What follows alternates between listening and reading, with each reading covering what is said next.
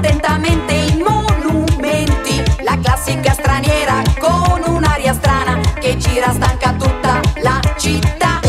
A un certo punto della passeggiata mi chiama da una parte un ragazzino, sembrava a prima vista tanto per benino, si offre a far da guida.